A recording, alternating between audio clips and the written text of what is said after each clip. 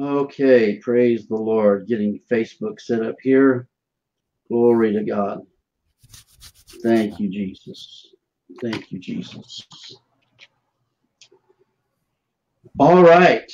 Our mic here says on the air, so uh, the picture's not moving on the Facebook chat, but um, we hope comments will start coming in here just shortly. Praise the Lord. What a great evening for uh, studying the Word of God. What a great evening for looking at the scriptures. What a great evening for pursuing what I call the definition of revelation is the unveiling of the Father's heart, and He wants His heart unveiled to us so that we can have a full understanding of who He is, what He thinks about us, so that we can begin to see ourselves the way He sees us and think the way He thinks. Praise the Lord. Good to see Melody Krischer uh, joining us tonight, and I'm sure many, many others will be coming on board shortly. My guest tonight is Pastor Rory Synoground, who jumped in here just today uh, to uh, help me out uh, as we're getting things rolling once again in our new location. Uh, he is a man that's called by God to be an instrument of healing the brokenhearted and to be a voice of freedom to those who are bound. And how many knows there are people that we've met in our lives who seem to be all bound up, all tore up by religion and need to be set free by truth. Jesus said, You'll know truth, and truth will make you free. Uh, Pastor Roy graduated from St. Cloud State University in the spring of 1994. That fall, he attended Rhema Bible Training Center. I've been there several times myself, not as a student, but as uh, hearing Dr. Hagin minister.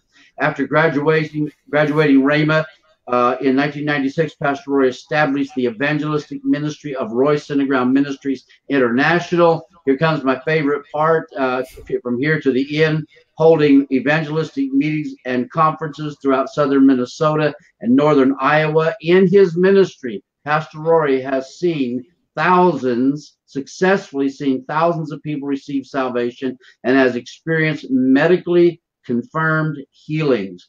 Those are some of the best kind, although we don't need a doctor to confirm it when we have Dr. Jesus who confirms it. But it's good for man to see that man can still be touched by a power higher than themselves. You can find out more about his ministry at www.rsmifreedom.org, and I'll try to get that in the chat room here shortly. Pastor Roy, welcome back to Kingdom Dynamics tonight. Thank you so much for agreeing to be on the show. And would you just please take your, uh, a few minutes and just read our viewing audience and just tell us what God's doing in your life and ministry, brother?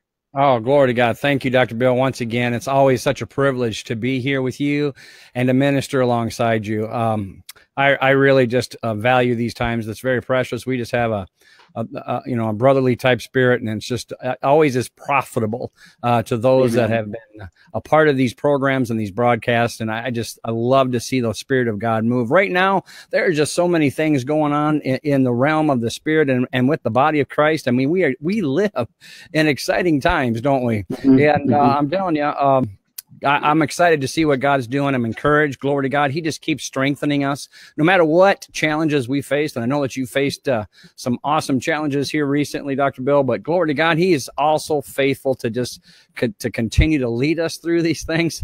I mean, we can walk through the valley of the shadow of death and fear no evil. Praise God. Yeah. So our church is just booming. We're excited about that. Uh, we, we meet uh, right here in Austin, Minnesota, uh, Freedom Christian Fellowship. We're located at 1110 24th Avenue Southwest. I am so encouraged to see the fruit that is taking place in the lives of those that we're, we have the opportunity to minister to. We're seeing healings. We're, we're seeing salvations. We're seeing God sure. just pour out his love and touching people's hearts. And, and, uh, uh, you know, we're, we're seeing wealth transfer take place. I mean, literal wealth transfer that we've heard about. Hallelujah. And it's manifesting. And we're excited about that. We've seen people walk away from years. I mean, we have one gentleman and his family, uh, that, that he's walked away from 30 plus years of drug addiction and drug mm. dealing and crime, and is just serving the Lord. He's on fire. Glory to God.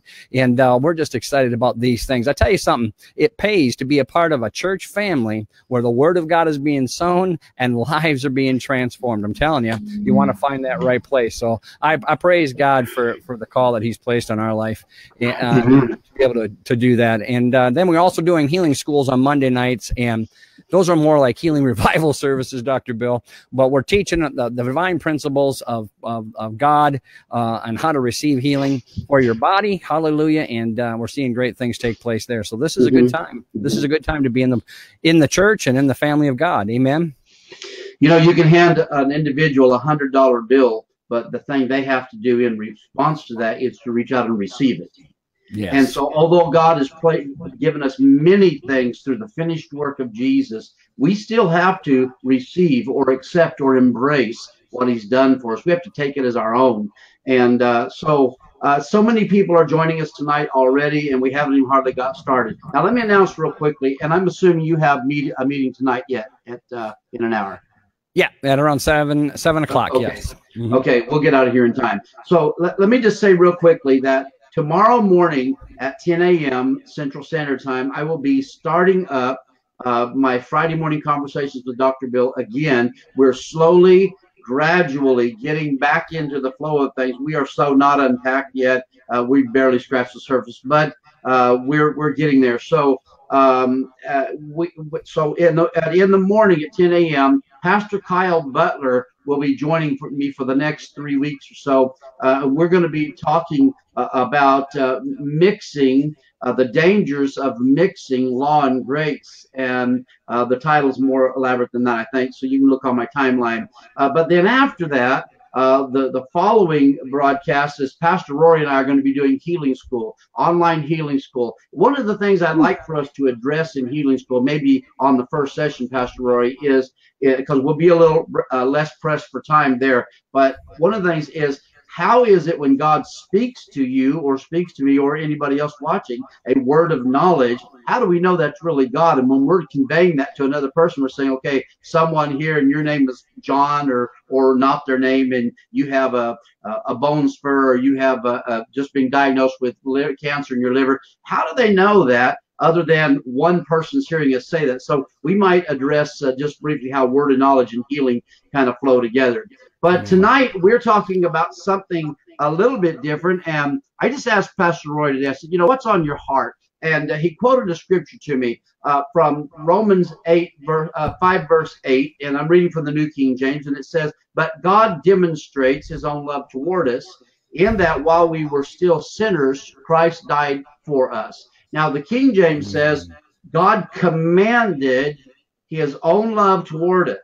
Now, so we're going to talk tonight about God commanded his love towards you. This is a message tonight that's not only for our benefit, for our re-edification, for our reaffirming, our, our uh, just building up the solid foundation that we're on. But this message is for the world tonight. So yeah. everybody that hears this during this live broadcast, and if you click like and you click share, this is kind of like television. How they get TV ratings, ratings is you got to watch, and they have some system that monitors that. But on the internet, what I call internet television, you've actually got to click and share for us to get a rating out of that. So we want you to do that.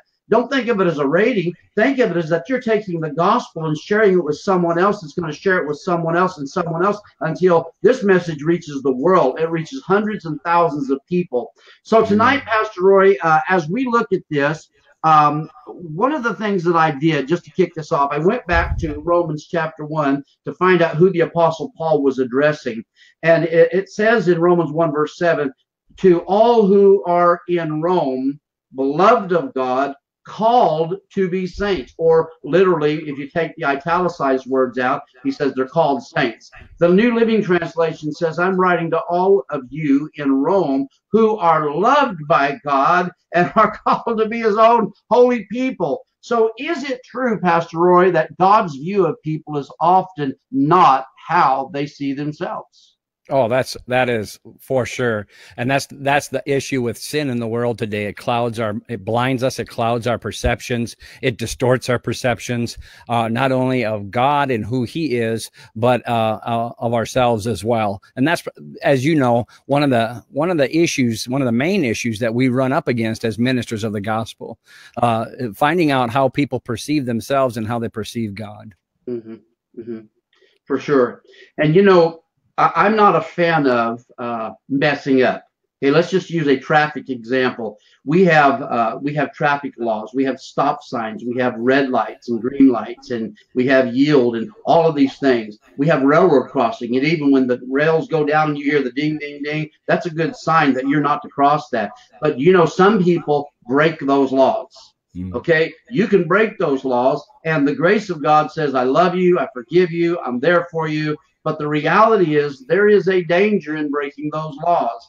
And so, you know, I thank God that He loves us and He's given this us this revelation of love that says, you know what? Uh, I, as I was telling you today, a story that I'll not tell online, but I, I actually heard somebody tell me about something going on in their life that was very unfavorable, in my opinion. I could have pounced on that individual and told them all kinds of bad things about themselves and quoted some old covenant situations and really tried to condemn them. But I just reaffirmed to them how much God unconditionally loves them, even right where they're at. And I know that's not old, that's against old school uh, how we were brought up, but it's true. How can you undo what Jesus did in his finished work? How is that possible? Amen. Amen. Yeah. You see, even you know, religion has really skewed our perception of who God the Father is. All throughout the Bible, we see God uh, continually demonstrate his unconditional, and I'm going to say that word again, unconditional mm-hmm. uh, love to us. He communicates it to us. He demonstrates it to us. And one of the one of the most popular phrases you've probably heard is "God loves you." And mm-hmm. uh, unfortunately, people continue to interpret that through the filter of their own belief systems in their heart. And uh, unfortunately, uh, the Bible has been translated, and I say this, it, it, I guess I should say this very lightly, but the Bible has been translated into the English language. Glory to God. It helps us understand it. But there have been uh, some issues with that translation, obviously, because the Bible was not written in English. It was written in Hebrew.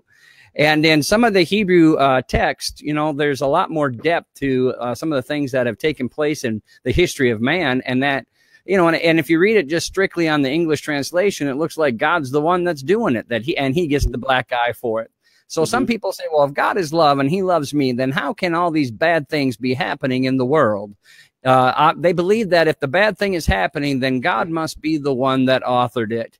And mm-hmm. so, uh, you know, that's something that we need to eradicate from the belief system, from the heart of individuals. No, no, just because there's evil in the world does not mean that God authored it, that God wanted it, that God planned it. Um, that God's going to get you for that. He's going to punish you. I mean, I was talking to a dear brother of mine, powerful evangelistic anointing, but he was talking about, you know, how God opened up the earth and swallowed these people. And I said, well, let's take a look at that. Did God, is mm-hmm. God the one that opened up the earth and swallowed these people? Or was mm-hmm. it sin that affected that whole nation of people and caused the earth to just have a hiccup and mm. open up and swallow them. The Bible says the wages of sin is death. It doesn't say that God is death. No, it says that God is love. And in fact, in First John 4 8, it says that God is love, God mm-hmm. is life.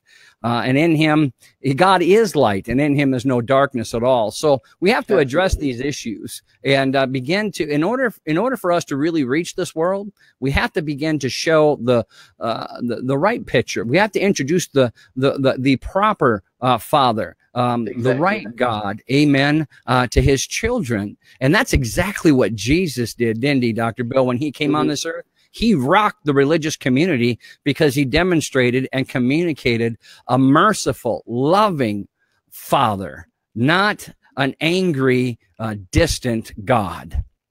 You know, there's a perversion in the in the religious community that says if you preach love and you preach grace and you tell everybody that God's love is unconditional, then what we're saying is that God will love you no matter what. Well, yeah, that's exactly what we're saying. God will love you no matter what but that doesn't mean the no matter what's are okay. You know, I gave an example yeah. recently uh, about how that we really should read our Bibles, we should fellowship with the Lord, we should uh, attend some sort of a worship meeting uh, where there's the preaching and expounding of the Word, where there's fellowship in the body. Those are things we should do. Those are things that God's not going to hate us for our lack of participation in them, but they are things we should do. So, are there what we call Christian uh, responsibilities? Of course, there are things that God uh, tells us in His Word that we ought to participate in. But we've got this skewed idea of God, and and you're right. one of the things the English Bible has done for me is it's helped me to see that it's not so much what it says apart from the original language that's so uh, so distorted as much as it is how I perceive what's distorted. If I can't look past some words and think, okay, you know what, thousands of years later we have an English translation of the Bible, and but I still see the heart of my Father that He loves me and He's not going to bring destruction and all of those things. So really, it is it's it's religion that has taught us some really uh, a, a poor view of who our Father is. Amen. You know, in the very, very beginning, we see how God created the universe and, and created all of creation. And one of the things that I have been ministering on in healing school was a topic called design for health. And we start out with how God created us by his word. He said, mm-hmm. let us make man. He said, mm-hmm. let us make man in our image and after our likeness. But then we, we understood in that in that very same chapter, Genesis chapter one, that not only did God create us by his word, but he designed us to live by his word. And he said in, in, in uh, Genesis chapter 1, verse 28, said, And God blessed them and said, Be fruitful, multiply, replenish, subdue, and take dominion in the earth. And so here's the thing you see this all throughout the scriptures. God would say something like this in Deuteronomy chapter 28. And he would say, listen, if you listen diligently to the voice of the Lord your God, if you observe and obey and do my commandments, then these blessings will be taking place in your life. And he takes the whole realm of your and I existence. I mean, financially, physically, uh, in your, I mean, your family, your social life, the land, the whole earth will experience the blessing uh, uh, of God through you when you when you just simply understand that you and I were designed to live by the word. But he said, if if you don't listen to what I'm saying, if you don't hear and believe the word that I'm saying, then all these bad things will be taking place. And so it sounds like to uh, the English reader that when you read that, God's the one that's doing this to you, and he's and he's being um, a big meanie. and mm-hmm. and no, he was just warning us. It's kind of like as a as a as a father when I was raising my children. I would say, look at see these great big huge vehicles that are driving on the road here outside of our house. Okay, these guys are big, you're little. They can't see you, so don't run out into the street. We don't want you to get hit. And if that were to happen, if they were to to not heed my voice and run out into the street, and you know a car uh, accidentally hit them and they be injured, you know, according mm-hmm. to the world and according to religious uh, some religious belief systems, mm-hmm. I would be the one that actually sent the car to hit my child to teach him a lesson. And that's the furthest thing from the truth. Yeah. The same is true with our Father. He loves us unconditionally. And he's the one that warned us. Hey, listen, I, I designed this thing. I know how this thing operates. If you just listen to what I'm saying, heed my word, you will see the, you will see the supernatural life that I have designed for you to live in and walk in. Glory to God. Absolutely. Absolutely. You know, as the apostle Paul is writing in, uh, in Romans 5 to these, these Jewish believers in Rome, uh, they it became obvious to me that they did not have a proper view of God's love for them, and that's why Paul uh, begins to tell them that hey, you are loved, you are called to be His own holy people, and and the thing about it was is you and I understand you're talking about legalism, what religion would say, which would be uh, uh, uh, legalistic condemnation and the blame, the, the whole blame game system. But the Jewish nation was motivated by the law because that's how they were raised up. That was interjected in them, into them. Uh, I think it was from five years old, every Jewish uh, boy had to know the law. Uh, and, and here's the thing about it the law was performance based. So you've seen this before, Pastor. If I perform well, if I come to church on Christmas Sunday and Easter Sunday, hey, I feel good about myself. I am justified. But then you know what self righteousness is like. The Bible says it's as filthy rags, only good to be thrown out and trodden under the foot of men. The reality is, is when I look at the performance of Jesus, that should change my whole. When I really get a revelation of that, that should change my whole perspective of the Father's heart for me. Not that I had to jump through a bunch of hoops, uh, a bunch of red tape to actually uh, have the Father love me. Amen. And one of the things is that we don't want to come up against is, is saying, well, you can live an immoral lifestyle and just live any way you want. and you know you'll still have the blessing of God at work in your life. No, the Bible makes it very clear. Again, the wages of sin is death. Jeremiah the prophet even said in Jeremiah chapter 5 verse 25 he says it's your own sin that blocks the blessing or your that's hindering the provision that God so desperately wants you to have. In fact, if you read Isaiah the prophet chapter 43, this is now listen, this is before Jesus died on the cross and shed his blood. I love this. In Isaiah chapter 43, this should be an eye-opening uh, word for some of you legalists out there mm-hmm. that God looked at the children of Israel and said, "Your sin your sin is wearing me out. It's frustrating me because he has such an intense desire for you to know him intimately and to know his love and to walk in the life that he designs you to live in the, the supernatural overcoming dominating life of god where you're well provided for walking in health and enjoying life he says but your sin keeps hindering it your sin keeps keeps preventing it. So he goes, listen, in Isaiah 43, he says, I am blotting out your transgressions and I'm not remembering your sins any longer. And he said it. he said it, not, he said this not because of any good law that you're obeying or good work that you're doing, but because I'm doing it for my namesake, because I love you just mm-hmm. so that I can, just so that I can just come to you and be with you and to try to help you in this. Mm-hmm. And uh, that's the, that's the, that's the spirit behind Jesus. God didn't send Jesus because of the law that we were obeying. God sent Jesus because we were, our own sins kept separating us from him. And that's what sin does. It, it separates us from the Father. It separates us from God. And God doesn't desire that because he loves us.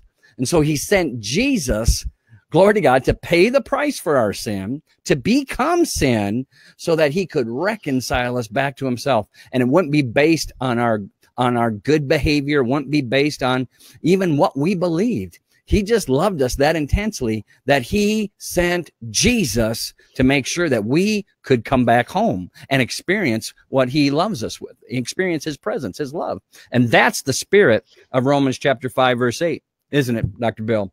It says, where God commanded his love to us. It. Look at that. In that while we were yet sinners, Christ died for us. And that I looked up that word commandeth in the in the uh, um, the Greek, and that word commandeth uh, actually means this is amazing to place together, to set in the same place, to bring or band together, to stand with or near. Think about that.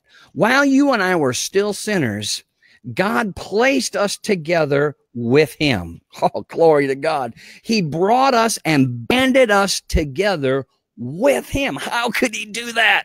Number one, because he is love. And number two, because Jesus paid the price so that we could do it. Glory to God. So listen, that's the good news. If you're, if you're still trying to get to God through some work, through some effort, if you're still trying to please God through your behavior, you're tr- if you're still trying to get God to do something in your life, you're missing the boat. You're still operating in sin. There's still an unbelief there in your heart. The truth of the matter is, is that He's already done it. He's already brought you and I home. He's already placed us together with Think Him. about it. Glory to God. We we have been reconciled. You know, you you ask people, when did you get saved? And you know they'll they sometimes the the person that you know that has prayed a prayer of salvation and they've been walking with the Lord for a while, well they'll go back to that date, you know. Uh, you know, I accepted Jesus Christ June 19th, 2010. That's when I got saved. And I'll, I'll say, well, praise God. We'll celebrate that. But the truth of the matter is you and I were all saved. We were all reconciled Think about over it. 2000 years ago, the day that Jesus Christ became sin with our sin died and God raised him up from the dead. That is when we were reconciled back to the Father. You're just finally accepting it, believing it on June 19, 2010. Come on, sure. amen. And that's sure. the grace of our Lord and our and our Savior Jesus Christ. Amen. And you know what you're saying there, Pastor, is is dangerous in in religious Christianity circles because Uh, to, to say that you picked out a date, but in reality, when Jesus paid the price for you uh, at Calvary, that was really the date. The Bible says that God was in Christ reconciling the world. I always say the whole world to himself. When did he do that? In Christ. And Christ. it's very interesting. I just uh, I want to mention this that um, uh, a, scripture uh, is uh, quoted in the chat room, John 1 12, but as many as received him, to them gave he gave the power to become the children of God, even as many as of them that believed on his name. Uh, in John, uh, Jesus, uh, in Jesus's ministry, they're primarily dealing with Jewish congregations of people who didn't believe that Jesus was the Son of God. So think about number one, who he's talking to, but there's a very interesting word here, and that's the word become. The Bible says in John, uh, Revelation chapter 4, verse 2, that uh, John became in the Spirit. That, that word actually in the Greek means he came to be. Uh, it, it's like it was an instant teleportation from one state of mind to another state of mind, or one point of view to another point of view. And I can't help but believe that what G, you, you just brought up. I, I wish we really had time to jump on that now because you really brought up a very interesting point, and that's that what Jesus did. I, I, believe this, you know, if if someone tries to label me as to what type of Christian I am, uh, I don't know if there's a category for it, but I'm a finished works believer, plain and simple. I don't feel I, I feel like that's an all-encompassing uh, thing. That what Jesus did is finished. It can't be undone. If you discover what He did, here's the thing about it: it can't be undone. It is for all mankind. And now you might ask me, but how is God going to get people today from point A to point B?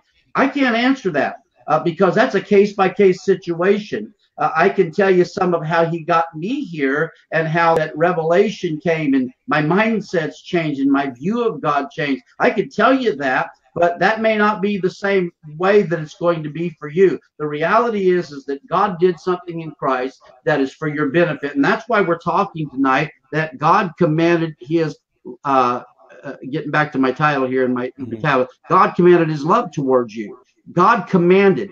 Think about the God of the universe, the creator of all things. He commanded love. Now, we know that the person of love is Jesus Christ.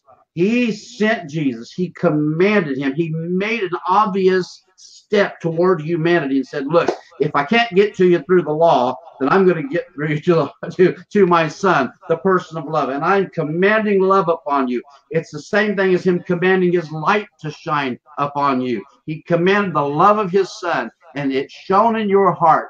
Pastor, some people have got it, some people are getting it, and some people are yet to get it. But I just have confidence that God's able to handle creation. Oh, amen. You know, the Bible says that God is love. First John 4 8. God is love. This is, is who love. he is. So now, in light of the revelation of that New Testament scripture, when you begin to uh, then look through that filter, that that scripture into the Old Testament, you must look at uh, and perceive what uh, the Bible con- uh, communicates to us through that belief, through that scripture, through that filter. Mm-hmm that God is love. Now, one of the things that we should be able to see is that relayed relayed out and communicated out in the scriptures, both Old and New Testament, and mm-hmm. we should be able to see that demonstrated in our lives. So the first thing that we need to understand here is that when he says in First John 4 8 that God is love, it is the Greek word agape, which means a giving, affectionate love. Mm-hmm. So that's the first thing we need to get a hold of is that that our Father, our God, is a giving, affectionate love or a giving, affectionate father. He gives affectionately, he gives lovingly. So, one of the things that you can understand about love is that you can see it, you can know it by the type of action it prompts or initiates. So then we read in John 3:16, the very, very, the very, uh, uh, the, the, the very um, well-known scripture verse that God so loved the world that he is only begotten, that whosoever would believe in him would not perish but have everlasting life. You see, God love. Like we're getting some back feed. Not me. Yeah, you know, my lawn guy showed up. He's outside my window. Oh, okay, got it. All right, so God so loved us, right? That he gave. That's what love does. Love always gives. Now think about uh, the reciprocal of that. Sin. What does sin do? Sin always takes. So you can know what God is or who God is or what love is or who love is Mhm. if it's Mhm. giving. You also know what sin is if it's taking. So you can know when someone's walking or acting in love towards you if they're constantly giving, or if they're in sin and they're not in love, if they're always pulling or demanding or taking. Sin separates, sin takes. God or love gives. Mhm. So God is always giving what he is to you. He's always giving love. He's never taking. He's always giving life because that's who he is. He's never giving death. He's all, I mean, think about it. Is God sickness or disease? No. He's healthy. He's strong. He's health. So he's always giving that. Whether you and I receive it or not is up to us. Are we going to be in sin and reject it? Or are we going to be in love and accept it? Amen. He's always the giver. And that's what love does. It always gives. Now, for our friends out there who are having issues in areas of their life, they're having issues with this, um, this uh, teaching. They, they, they, they think it's heresy. Uh, again, the Bible very clearly states, by grace, you and I are saved. Mhm. Period. Now, it does say through faith, and that not of yourselves, it is the gift of God. But we got to establish this. It's by grace you and I are saved. It's not of any work that you and I have done. That word saved there is the Greek word sozo, which means healed, it means delivered, it means protected. Mhm. I mean, it covers the whole spectrum of life by grace, by by what Jesus did, because love gave his life so you could have his life. That's the grace that saved you. It already did it. Now you receive that grace through faith, not of works. He said through faith. Now we also know that James says faith without works is dead. But it all starts in with what you believe. It all starts with faith. You believe that you have been saved, and when you you believe that you are loved by God, Mhm. and then you'll start acting that out. You'll start behaving that way. You'll start having the corresponding action that reflects that with what you believe. You see, when you don't believe that, you're always trying to earn it. But when you do believe it, you're going to walk it out like it's true. That's where, when there's a lot of times when I'm ministering healing, Dr. Bill, that when you can get that message across that God has loved you, God has already given you his life, he has given you your healing. When people begin to contact that, connect with that, to know that he freely gives and he doesn't hold back. He doesn't, like James says, when, if you lack anything, ask God who gives liberally. That's what love does. Love always gives. He doesn't hold back. When they can, when they begin to connect with that concept, that perception of their Mhm. father in their heart now, hallelujah, they begin to reflect that in their behavior. They begin to reflect, reflect that in their attitude and they begin to walk it out and they begin to see the manifestation of that love, that health, that provision, that protection in their life. And they start seeing miracles take place. They're not trying to get it. They already just receive what love Mhm. has given. Glory to Mhm. God. Amen.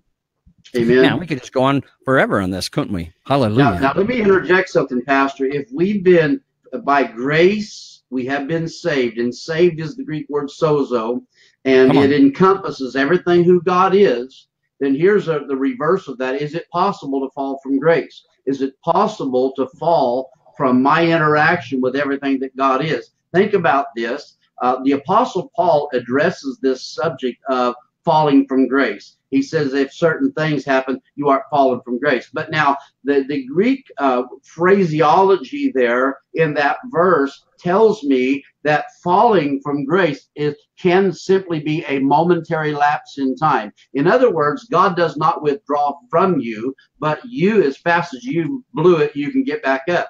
Now we have an issue today uh, that, and and this may interact with with our topic or, or not, but we have an issue today that says uh, if you sin or if you mess up, you need to repent. But now the religious, uh, worldly idea of sin eh, or repentance is that I got to cry a bucket full of tears and and so on. Repent is the Greek word metanoia, and there's two words, but they basically mean the same thing, and that's to change your mind, change the way you think. So think about this. Uh, do if if we have a problem with going to our father and say, Daddy, I blew it, then we really have a pride issue. And and you know i feel comfortable. I feel no condemnation going to god and say wow father i got angry. I blew it. I stomped my foot. I whatever. And you know all god does is, is he reaffirms sozo he refer, reaffirms that everything i am to you is still who i am to you. I haven't changed my mind about you. My relationship with you does not change uh, just because you got a momentary skewed view of who i am I'm so grateful that people can have an understanding of the unconditional love of God, even though it might be one of the most difficult concepts to embrace today. Amen. And you know, the whole idea of falling from grace, you know, it's it's been entrenched in our conversations, and that has been a a question that we've tried to answer. You know, you go back and forth between different views, and as we were talking, as you were talking, Dr. Bill, I just you know was answering the asked the Lord. I said, "How do you want me to respond from this?" and I, I, you know, I, I very clearly heard him say something. You know, this is so simple. Listen, grace has saved us. Period. For by mm. grace you are saved. So it's not a question of whether or not the human race has been saved. It's already done. We're saved. Now, can we reject that salvation? Sure, we can, can't we? We're not falling from grace. Grace is still there. We're rejecting it. Now, can a person who has accepted and believed and put his faith in Jesus ever come to a place in their heart where they're going to reject Jesus again? It's very hard, very hard to do. But yeah, it can happen because you are created in the image and likeness of God. You can choose death or you can choose life. But you're not falling from grace because grace has already saved you. See, so you can never earn it. You can never earn it, but you you you choose to believe it. Hallelujah. And uh, you can become a new creation in Christ Jesus. Hallelujah. You can listen. The, the prophet of old said, I'm gonna God said, I'm gonna put a new heart in you, and then I'm gonna put a new spirit in you. Glory to God. And that new heart has to choose to think God's thoughts, choose to believe that who Jesus is and that he died on that cross for you. And that new heart also can choose to reject what Christ has done, but it does not negate what God has successfully given us through Jesus Christ. Love has given us an eternal salvation. Hallelujah. Yeah. You know, there's a passage that you and I are both familiar with in First John 4, 7, and 8, but also in verse 9 and 10. And the, the, the you know, I, I try to not pay so much attention to the uh, the titles of these passages because I know that the Bible printers and and translators interject those things, but uh, in this particular case, it bears out to be true, and it's it, it is titled "Knowing God Through Love." So the only way to really know God uh, for, for, example, he says, and everyone who loves is born of God and knows God. He that does not know uh, uh, God, uh, he that does not love does not know God, for God is love.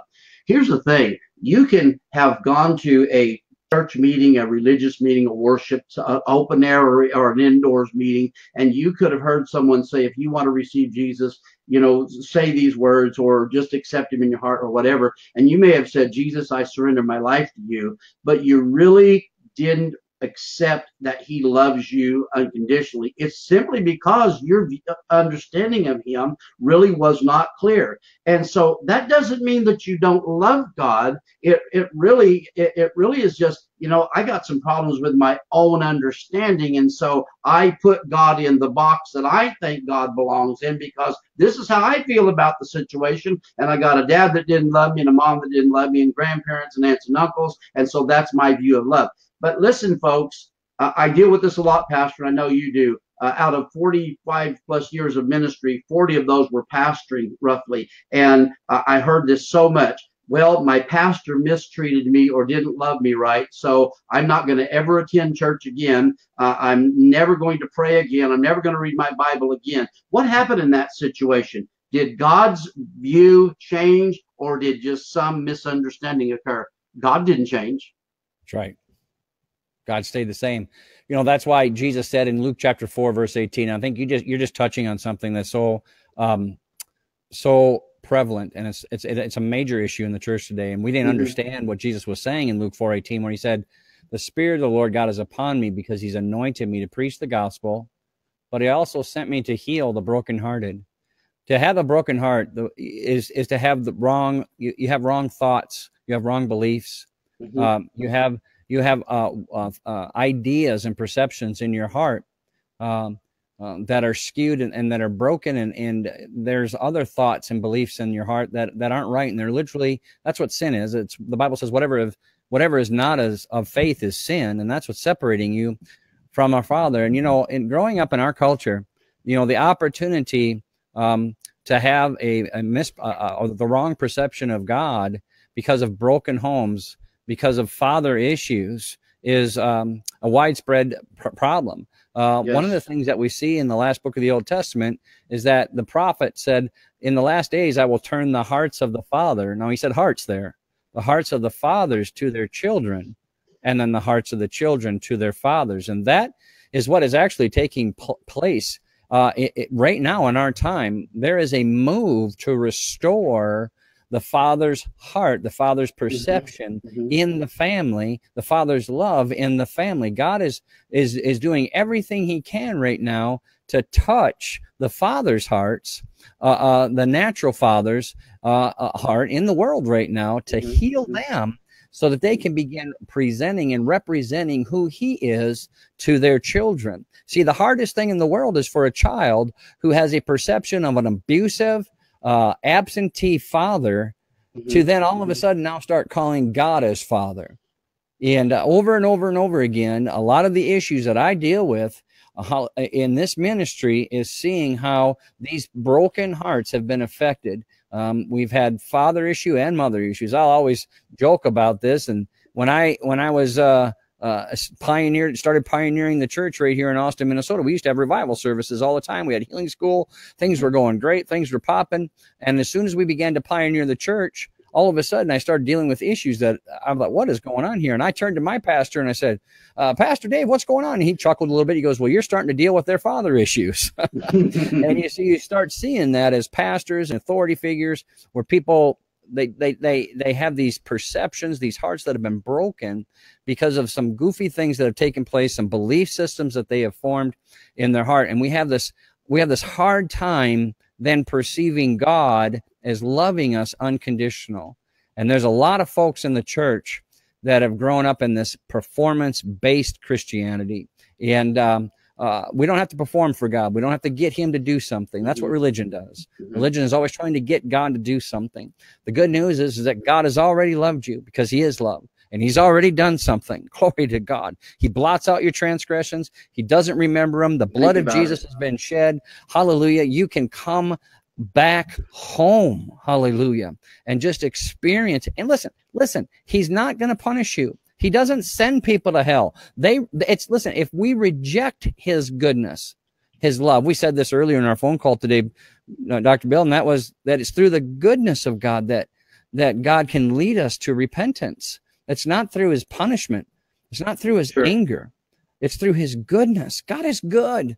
He's so good. And it doesn't matter how far off we are in darkness, He is remaining the same. He's in that place of unconditional love, saying, Come home. I'm right here. I'm right where I where you left me, son. I'm right here, daughter. I haven't left mm-hmm. you. I'm right here with you. I'll never leave you.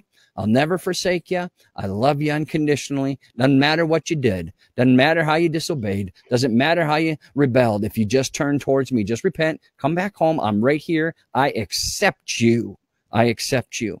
Uh, and you know what? You can turn from that behavior. You can turn from that sin. You can turn from that bondage in a blink of an eye. Hallelujah. I've seen it. I've seen it so many times. People who've been addicted to drugs for 30 some years turn in a moment's note, in a blink of an eye, and just receive their miracle, their their freedom that love always gives. Amen. Yes. And, and, you know, folks, while you're hearing this heart wrenching word tonight, just understand that uh, one of my brothers tonight, uh, Apostle Emil Alston, uh, quoted, uh, I think it's First uh, John four seventeen. Uh, anyways, where that says, "Perfect love casts out fear." You know, for years we all kind of got caught in that loop of of trying to perfect our love so that we could get rid of fear in us and fear in others and show them how. But you know, that scripture was never talking about our perfect love. That scripture was always talking about God's perfect love. Amen. It's God's perfect love. It's the revelation you get of God's perfect love that casts all fear. And I love what the, um, uh, I think it's the, the Living Bible says that uh, perfect love that and and the sister just quoted it that fear has torment and and he he describes it as that that torment and that fear is, is that that we're afraid of what this great God might do to us when we mess up. You know what God wants to do to you? Every, everyone listening tonight, if you're struggling with this message, what God wants to do with you when you mess up is He just wants to, in in in the best way that He can, the best way that you understand, put His arms around you and hold you tight and love on you, tell you that everything's going to be all right telling you that I haven't left you, I'll never leave you, I'll never forsake you. And God just wants you to find reassurance in that. A hope in, you know, someone told me one time there was some disastrous thing, and they said, I just have to believe in this because this is all the hope I've got. Let me, let me just say this to you. I have to believe in the love of my Father because that's the hope that I have. That what He's told me is the truth, and that He really, really, really, really loves me. That's my in the hope. Amen. You know, we have to get rid of the perception that God takes things from us. We have to get rid of the perception that God withholds things yeah. from us or withholds his goodness from us. The Bible says that God has given us already, already, come on, already given us all things mm-hmm. that pertain unto life and godliness. Ephesians 1 3 says that God has already blessed us with all or every spiritual blessings in heavenly places in Christ Jesus. Mm-hmm. He's not a taker, he's a giver. The Bible says that he gives upon approach. That we are to believe, you know, you know, in Hebrews, the Bible says that we are to believe that he is. Now watch this, and that he is a rewarder of them that diligently seek him. We have to push past our sin, push past, push past the things that are blocking us from receiving what he is freely given to us. Now, Amen. in John, I don't know how much time we got left here, uh, Dr. Uh, Bill. It's the what, time that you have that we have left. Okay, well, um, I would like to just take a few moments here in John chapter 15 and just look at something how I used to read it and I just didn't, you know, and I believe that a lot of folks re- read this passage of scripture through the perception that, you know, God will get you for that. Or here it is. See this right here. It's saying that, that God takes things away. And uh, and Jesus was kind of ministering along these lines, and he said in, in verse one, he says, "I am the true vine; my Father is the husbandman." Now he says, "Every branch in me that bears not fruit." Now in the English translation, we read this: "He taketh away."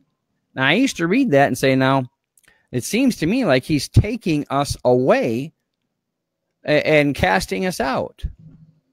And I'll just finish reading this chapter, uh, this verse here. It says, In every branch in me that bears not fruit, he takes away. In every branch that bears fruit, he purges it, that it may bring forth more fruit.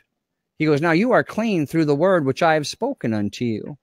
If you jump down to verse 6, it says, If a man abide not in me, he is cast forth as a branch and is withered, and men gather them and cast them into the fire and they are burned. Now, for years, I know a lot of folks too. As for years, I read this and I was like, this sounds like that God's taking you away and casting you out because you're not being that good Christian that's bearing fruit. And that's uh, again the way that the King James translation and a lot of English translations translated the scripture. And so, as I was, I began meditating on this for uh, you know a couple years ago the Lord said, I want you to spend every day just meditating on John chapter 15. I would read it in my prayer time when I would come before him and spend time just talking with him. He says, Now I want you to go over to John 15. And I would do it every day, every day, just read John chapter 15 over and over and over again. And I'm still doing it today, not every day, mm-hmm. but just um, often. And uh, one time here, not too long ago, I was just reading on the word purges there, and, and I and I saw that the word purge there means to cut or it means to cleanse, but it means to cut out. And so that was the first step in realizing that what the love of the Father is. What now listen, God is love. The Father is love. So what he does is he when he sees something in your heart that is hindering you from experiencing the fruit of the spirit, which is love, joy, peace, I mean, when, when he sees that the that you're not experiencing these things, and he sees the thing that's that's hindering you from experiencing it and walking in love and joy and peace, he cuts it out. That's what the word purge means. He wants to cleanse it from you. Jesus said, "You are now clean through the word." Which I have spoken unto you. That's what the word of God does. It begins to cleanse us so that we can experience what he freely gives us. And so I started getting that. And, and you know, that's what Hebrews chapter 4, verse 12 says. Dr. Bill says, For the word of God is alive and powerful. And here it is, sharper than any two edged sword, piercing, even dividing asunder the soul and the spirit, the joints and the marrow, and as a dis- and is a discerner of the thoughts and intents of the heart. See, so yeah. God's word is to go, it cuts to the heart, literally, and it begins to cleanse out these things. But here, just the, uh, a few days ago, I, I was meditating on this, and the Lord said, Go look up that word taketh in the Greek concordance. So I did. And this was absolutely liberating for me. And I just, I just have not been able to share this enough this past month. And that was that word taketh does not mean that he takes away. The word taketh there literally means to lift up, to bear, to carry.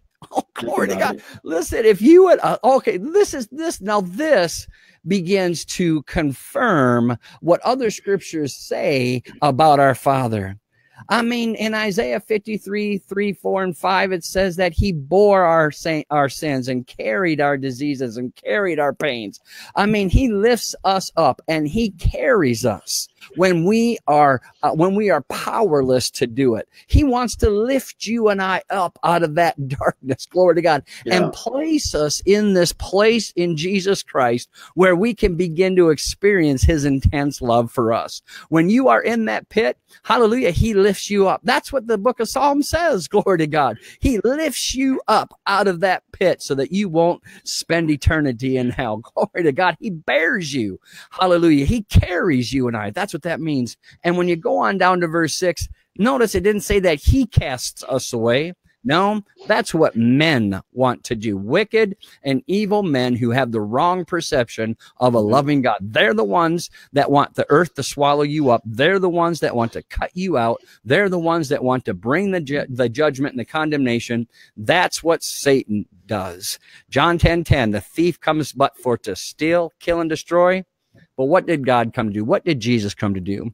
He came to love you and to give you life and life more abundantly. Hallelujah. Amen. Pastor, uh, I, I, just uh, I, I, just am so thankful that after Jesus said those things, that he went on to a cross and yeah. he he died and he was buried. He rose again and he lives. He lives in us, and I'm so thankful that he lifted us up. He he he bore everything that we could have possibly faced in life. He carried us.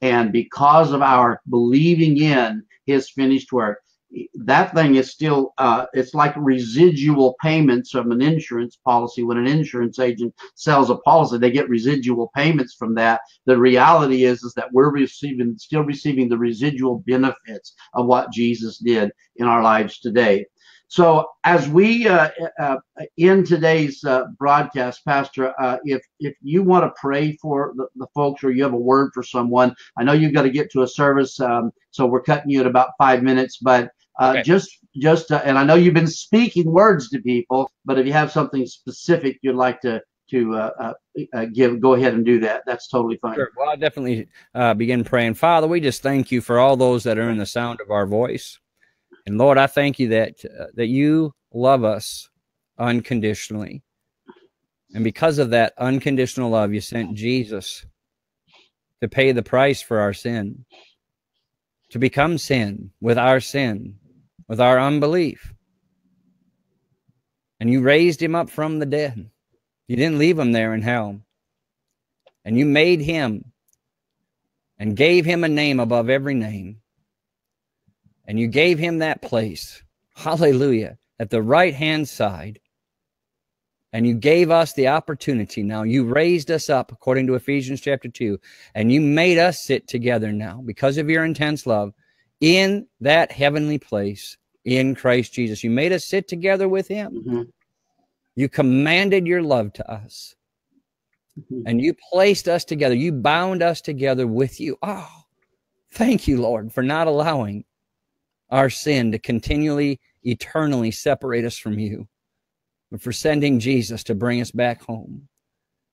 Hallelujah, Father. I thank you that you are reaching out right now to that dear woman, for that dear woman, that dear daughter of God that has been struggling with the condemnation and the unworthiness. The unworthiness, the, the feelings of, of, of rejection, the overwhelming rejection, or never being good enough in her family, never being good enough in her father's eyes, never being good enough to in her mother's eyes. Oh Lord, she's good enough in your eye. You said that she's the apple of your eye. Lord, that she don't have to perform for you, but you're there right now. Father, I pray that you just that she oh yeah, you're right there. Your arms of love are right there. You're wooing her, just drawing her into your bosom right now. Father, I pray you strengthen her inner man to experience your loving embrace right now. You may be thinking, I'm not good enough. I'm not, I'm not good enough. I'm, I'm so unworthy. I'm unclean. But he's saying, no, no, I call you clean, daughter. I call you clean. The blood of Jesus has cleansed you. The blood of Jesus has purchased you. You are, you are so worthy. You are his precious daughter. Mm-hmm. Oh, you're precious. You're precious. There's, you're precious. Come on. You're precious. Yes. yes. You're precious. You're precious. You're precious. And that infirmity in your flesh, that, that the power of that that has been holding on is being broken right now. It's being broken right now because he's pouring out his love on you. He's pouring out his love on you. He hasn't abandoned you. He hasn't left you. He hasn't abandoned you. No. Uh-uh. Uh-uh. No, no, no. He's got you by your right hand. Mm-hmm. Yeah. You've seen where he lifted Peter up out of those ra- that raging water. He lifted Peter up out of that storm. He's lifting you up. He's lifting you up out of that storm. He's got you in his bosom right now. He's got you in his bosom, just like John laid his head on the bosom of Jesus. You can rest. Safety. Yeah, he's a safe place. He's the safe place. He says, I'm safe. I'm safe. Just rest there. You can enter into that rest. You just tell the, you just you can just you oh glory yeah yeah yeah. The father says just tell satan to take a flying leap. You are loved. He's got you he's got you he's got you and that love is just cleansing you right now. That love is just healing you right now. There's some out there just you're feeling a warmth in your body. You're feeling a warmth all around you. That's the father. That's his love for you. Oh the devil don't let the devil bring up your past. Mm-mm. jesus paid for that the Father's already seen ahead into your future. This is your divine appointment. This is your divine time. He knew you'd be watching today. He knew that you'd be a part of this. And this is for you right now. See, he's he loves you so much. He's breaking into your reality right now mm-hmm. to tell you that you are valuable. That you, he's got you. He's watching you. He has his eye on you with love. Oh, you're so important to him. And yes, yep, yep, yeah, yeah, you do have a divine destiny. Yep. Yeah, yes, you are called. Yes, you are called. Yes, you are called. No, no, your sin doesn't disqualify you. I qualify you. What mm-hmm. the devil disqualifies, I qualify, says the Lord. I've qualified you for this time and this hour. You're marked, you're loved, and my gifts and calls are, are not without repentance. Just choose me. Choose me. Choose it now. And I'll take you where you've dreamed on going. I'll take you there. You've saw it. You've dreamt it. But I'm the one that will do it with you. I'll take you there. Hallelujah. Thank you, Dad. Thank you, Father. Hallelujah. Praise the Lord. We want to thank everyone for watching tonight and for those who are going to see this video after the fact. Uh, we just pray and we believe that the message, the, let, let me just say it this way that our attempt at sharing and re- revealing the Father's heart to you. Uh, we just hope that you have latched onto something, one word, one phrase, uh, an interpretation of one scripture that all of a sudden changed your world so that you can begin to see God in a whole new light. God loves you because He is love. God has your back, whether you feel like it or not. God cares about you even on those days that you feel like no one cares. God loves you and he loves you no matter where you've been, no matter what you've done. God has great things in store for you that have come through the finished work of Jesus. He's made you holy. He's made you righteous. He's made you loved. He's made you accepted in the beloved. And you didn't do anything about that. It was provoked by the love of God through his son, Jesus Christ. And now you get to say yes to Jesus and receive the benefits. You get to lap up all the good stuff, as they say. And so we just pray for you. We want to thank you tonight so much for watching. Pastor Rory, thank you for being on with me tonight at a, at a moment's notice. And uh, I appreciate it so much. Amen. I have one, I have one yes. more word I keep hearing from the Father, and I just feel yes. like I need to say it, if that's all please, right, Dr. Bill. Mama, I'm telling you right now, the, the Father is saying, you, you I'm restore, I will restore your family. You don't have to petition me. You don't have to um, beg me. No, no, no. You come to me and rest in me. He says, as long as you continue to turn and, and keep your eyes on me and focus in on me and rest in me, I'll take care of it. I take care of it. Did I not say that I would be your real reward? I am restoring your family. Amen. Hallelujah. Amen. Amen. Amen.